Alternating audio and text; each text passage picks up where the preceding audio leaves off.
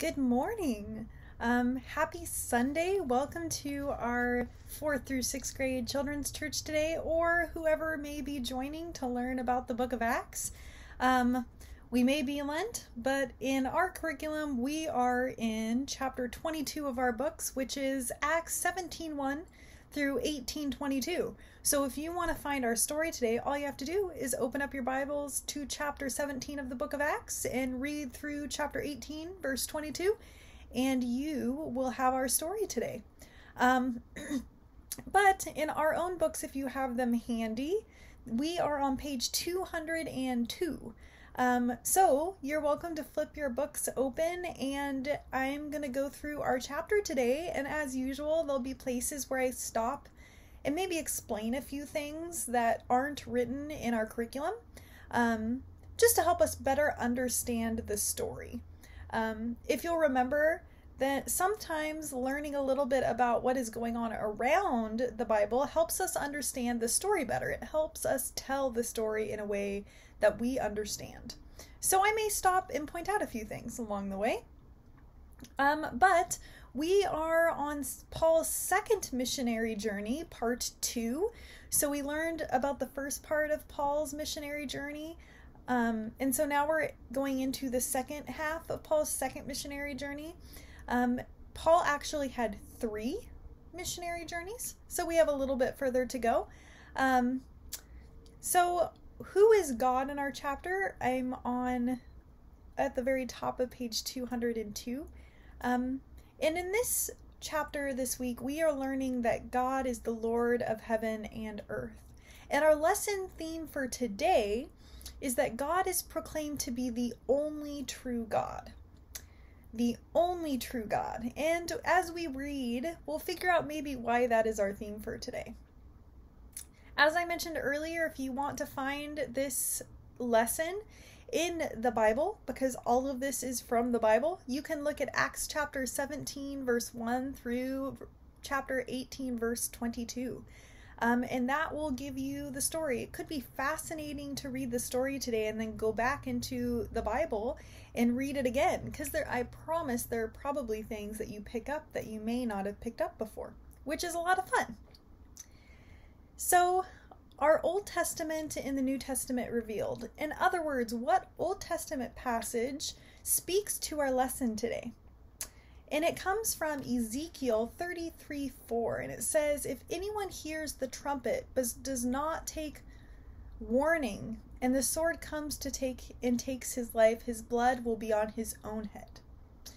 Um, and just as Ezekiel the prophet was Israel's watchman, warning the wicked of God's judgment, so Paul the apostle preached of Jesus and warned those who rejected his gospel. And we'll see a little bit more of that today. So, our story is titled Paul's Second Missionary Journey, Part 2. Um, I'm on page 203 if you want to join me, and without further ado, I'm going to read our story today. Paul left Philippi glad to be free of the city's troubles. But as he, Silas, and Timothy passed through Amphipolis and Apollonia on their way to Thessalonica, trouble followed close behind. In Thessalonica, there was a Jewish synagogue. As was Paul's custom, he first preached in the synagogue. For three Sabbaths, he reasoned with the Jews and God fearing Gentiles about the scriptures, explaining how Jesus Christ had to die and be raised again from the dead. This Jesus of whom I speak is the Christ, the Messiah, Paul said. Some Jews, many of the devout, God fearing Gentiles, and many prominent women believed in Jesus. I'm going to stop there. So, I know a lot of times when we read the Bible, sometimes we wonder, where are all the women, right? Um, but I wanted to point out that when it says many prominent women, they're not kidding. Um, in Greco in the Greco-Roman world, where the New Testament takes place, um, it wouldn't have been unusual for women to have prominent places in society. Um, They may be a businesswoman on her own. She may be leading a position in the city or be married to a really prominent city official. Um, so, Lydia, whom we discussed in chapter 21, is an example of a prominent woman. So, so I want to clarify that that in the New Testament there are a lot of really important women, and I am glad that our story pointed it out today. Um, so, I am going to continue on. I am now on the third paragraph of our chapter, of our lesson today. Paul said, Some Jews, many of the devout, God fearing Gentiles, and many prominent women believed in Jesus. Other Jews, angry and jealous, met up with some of the city's rabble, or lower class people, at the marketplace and formed a mob that went through the city causing a big scene. The rowdy mob ran to Jason's house where the missionaries were staying, and when they didn't find Paul, they grabbed Jason and some of the other new believers and dragged them before the city magistrates. The men who have been troubling the whole world are causing trouble here too, they shouted, and Jason has welcomed them into his house. These men are saying there is another king named Jesus, and this is contrary to Caesar's law. The Roman emperors had made decrees forbidding anyone to predict any other king than a Roman emperor would rule the empire. Because Paul was preaching that Jesus was a king with a kingdom and that he would come in judgment, the Roman magistrates saw Paul's words as a threat against the emperor and a breaking of the emperor's decrees. The magistrates demanded tribute money from Jason as security against any further trouble and let him go. The sad news, though, was that Paul and Silas had to leave the city. The new church in Thessalonica was on its own. Um, so, fun fact we believe that royal we, people who have been studying the Bible for a long time, think that Thessalonians was one of the first Pauline letters that was written, which would make sense because they had to leave Thessalonica early. Um, so, it's kind of fun how those things work out, right? I am flipping to page 204, starting at the top. In the middle of the night, Paul and Silas moved on to the next town, Berea. The Jews in Berea were nobler than those in Thessalonica. They accepted the gospel with great eagerness, and every day they searched diligently through the scriptures. They wanted to make sure that Paul was preaching the truth. But the troublemakers from Thessalonica found their way to Berea and stirred up the crowds. The believers hurriedly sent Paul to the coast and put him on a boat to Athens, while Silas and Timothy stayed in Berea. Entering the famous city of Athens from the Piraeus harbor, through one of its northwest gates, Paul was astounded by the magnificence and brilliance of the architecture of Athens. He saw the ivory columns of the Hephaestum I promise I trouble I have some trouble with these names too, y'all. The beautiful temple dedicated to the god Hephaestus and the goddess Athena. The Tower of the Winds, dedicated to the eight wind gods, stood prominently in the Athenian marketplace.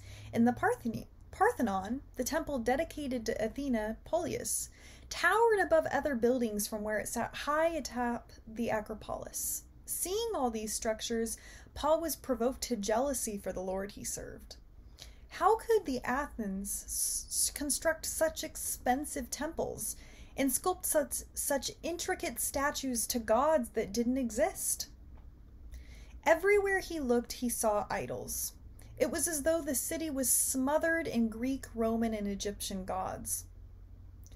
With ev- even greater intensity than before, Paul reasoned with the Jews and God fearing Gentiles in the Athenian synagogues about who Jesus was. Every day in the marketplace, Paul talked with ordinary passerby who walked about the city. He even debated with the Greek Epicurean and Stoic philosophers. Some philosophers called him a babbler, and others a preacher of foreign gods because he always talked about Jesus and his resurrection. the philosophers invited Paul to the Areopagus. Areopagus? um, it was also called Mars Hill, to debate with them about religion. So Paul stood in the middle of this prestigious place and spoke out Men of Athens, as I walked around your city and looked at your objects of worship, I saw that in every way you were very religious. While exploring Athens, Paul had seen an altar with an inscription to an unknown god. Because the Athenians feared that they might have missed a particular god, they erected this altar to whoever unknown god might exist. Paul then talked to them about Jesus, their unknown God. So these are some of the things that Paul said about the unknown God. First, he made the world and everything in it. Two, he doesn't live in temples made by man. Three, he gave his life and breath to all creatures. Four, he made man so that he could seek God. Five, he is not far from anyone. Six, he commands every man to repent of sin. Seven, he will judge the world in righteousness. And eight, he has raised this judge, Jesus Christ, from the dead. Paul talked to this prestigious group, and the philosophers listened. Then Paul said, God has given proof of this to me. God has given proof of this to all men by raising the man he appointed from the dead. And a resurrection? Some of the philosophers mocked, while others said, We'll hear you talk about this again soon. A few people believed and became followers of Paul, including Dionysius, a member of the Areopagus, and a woman named Damaris. But Paul knew it was time to move on. He left Athens and traveled to Corinth. It was at the city of Corinth that Paul met Aquila and his wife Priscilla, tent makers who had been expelled from Rome by Emperor Claudius. Because Paul also was a tent maker, he stayed with them during his time in Corinth. Soon Silas and Timothy joined Paul. So I'm going to stop there. You may be wondering why did Emperor Claudius expel all of the Jews from Rome? Um, well, I can help answer that question. The Emperor Claudius issued a decree or a proclamation or a statement, um, a law that all Jews should be banished from Rome. This came about because there was dissension between the Jewish community and the Christianity Christian community that was pretty new to Rome. Um, because of the disorder and disruption caused by the Jewish differing reactions to the message of Jesus Christ, the emperor expelled all of the Jews. Whether or not Pr- Priscilla and Aquila were involved in the disruption um, is not really clear. The Bible doesn't really tell us. Um, it does appear, however, that however that they had come to faith in Jesus and were caught up in the emperor's decree. Um, they had become Christians, left Rome, and were settled in Corinth when Paul arrived there. So, so there was a lot of politics in Rome, and because of the disruption, that's why Emperor Claudius just told them all to get out. I am now on the third paragraph on page 205. Soon Silas and Timothy joined Paul. When the Jews in Corinth opposed and mocked Paul, he shook out his garments and said, Your blood be on your heads. I am innocent. Now I will go to the Gentiles. Paul went to the home of Titus Justus, a Gentile worshiper of God and man of faith who lived next to the synagogue, and talked to him about Jesus. Crispus, the ruler of the synagogue, also believed, along with his whole family. Many Corinthians who heard Paul preach the gospel believed and were baptized. One night, Paul had a vision from the Lord. Don't be afraid, Paul, said the Lord. Go on speaking and speaking and don't be silent, for I am with you. No one will attack or harm you, and be certain that I have many people in this city who are mine. So Paul stayed in Corinth for a year and a half, teaching the Word of God. After time had passed, some angry Jews went to Gallio, the proconsul of Achaia, and accused Paul of breaking the law by encouraging people to worship Jesus. So, this Gallio figure, who is he, and what in the world is a proconsul? Well, so taking the complaints that to Gallio was more a more serious action than bringing Paul before the mag- magistrates in Thessalonica earlier.